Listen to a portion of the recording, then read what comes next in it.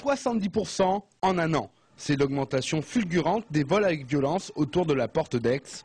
Et rien que sur les quatre premiers mois de l'année, ce phénomène ne cesse de s'accroître, plus 20%. L'insécurité, euh, les vols, euh, les agressions. On achète la paix sociale, on laisse faire, on laisse faire, on laisse faire et c'est plus possible. L'État démissionné devant les voyous. Voilà, les voyous règnent en maître ici. Et le fait le plus marquant, c'est l'augmentation de cette violence causée par des mineurs, plus 38%. La mairie a donc décidé de faire intervenir la police municipale. Il n'est pas question, bien entendu, de laisser qui que ce soit dans cette situation et quelque lieu que ce soit dans cette ville. Nous luttons pour une tranquillité publique, pour un mieux vivre ensemble. Et la porte d'Aix n'est pas un dossier pour- sur lequel la ville ne s'est pas penchée, bien au contraire.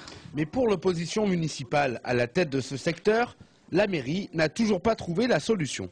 La police municipale ne travaille pas le week-end.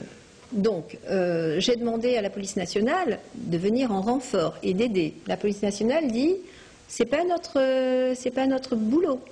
Euh, on n'est pas là pour faire de la présence. Nous, on intervient sur des situations, etc. Donc euh, là, je me tourne à nouveau vers le maire de Marseille en tant que premier magistrat pour dire trouver la solution. La solution pourrait venir du côté d'Euroméditerranée. Le projet prévoit un réaménagement complet du quartier.